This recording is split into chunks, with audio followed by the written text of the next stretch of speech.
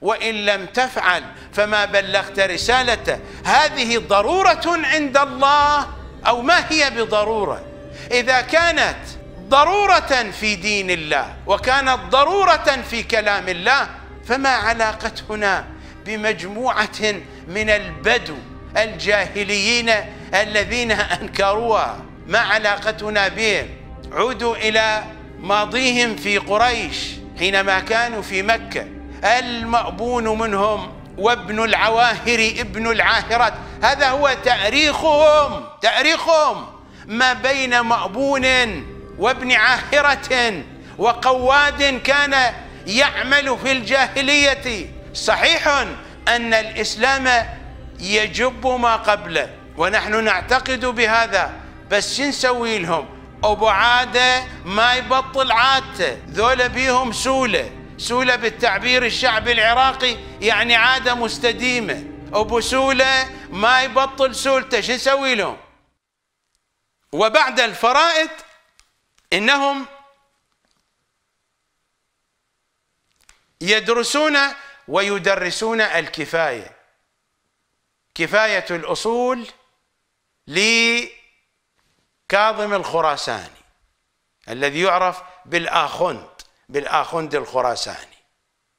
الآخند يعني الأستاذ الحوزوي.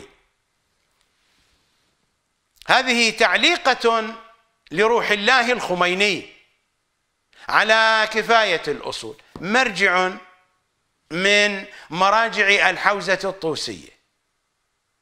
يعلق على كفاية الأصول الطوسية. أنوار الهداية الجزء الأول. تأليف الإمام الخميني. تحقيق مؤسسة تنظيم ونشر آثار الإمام الخميني. قم. هذا هو الجزء الأول.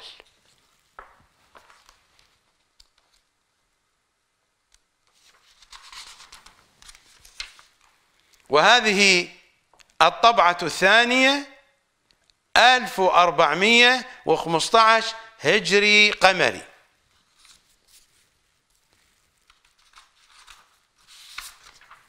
صفحة 253 تحت هذا العنوان مبحث في حجية الإجماع.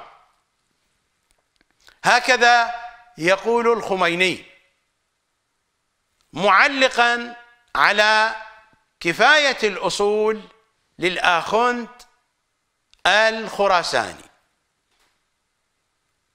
الظاهر أن انسلاك الإجماع في سلك الأدلة وعده في مقابلها إنما نشأ من العام وعده في مقابلها أن جعل عنوانا برأسه.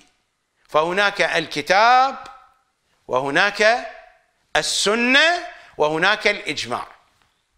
الظاهر أن انسلاك الإجماع في سلك الأدلة وعده في مقابلها إنما نشأ من العامة من المخالفين وقد عرفوه بتعاريف.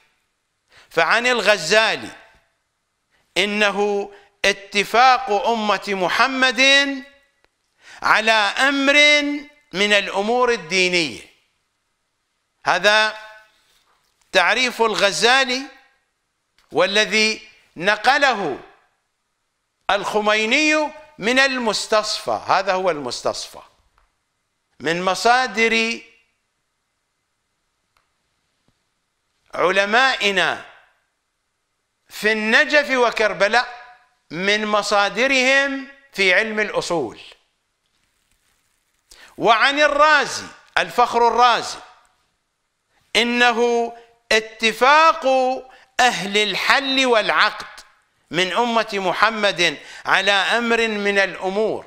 وقد نقله الخميني من المحصول في علم الأصول. هكذا جاء في الحاشية وهذه حاشية المحققين. لكن المصادر الأصلية لهذه التعاريف هي هذه الكتب التي أشرت إليها. وعن الحاجب إلى آخر ما ذكره من كتب المخالفين التي تعد الأصل والمصدر الرئيس لموضوع الإجماع. في الحقيقة علم الأصول الشيعي بكله مأخوذ من هناك. لكنه قد زيف تزييفا مثل ما زيف الطوسي اللعين مسألة الإجماع. جاء بها من النواصب من سقيفة بني ساعدة وأقحم فيها إمام زماننا. فقال من أن إمام زماننا داخل فيما بين علماء الشيعة. كيف تشخصونه؟ كيف تعرفون ذلك؟ لا يوجد دليل. لا يوجد دليل على تشخيص دخوله. ولا يوجد دليل على أصل الفكرة من الأساس. كذب في كذب ودجل في دجل. هكذا يضحكون عليكم. يأتونكم بدين النواصب ويستنبطون لكم دينا وفقا لمنهج النواصب ويقولون لكم هذا دين العترة.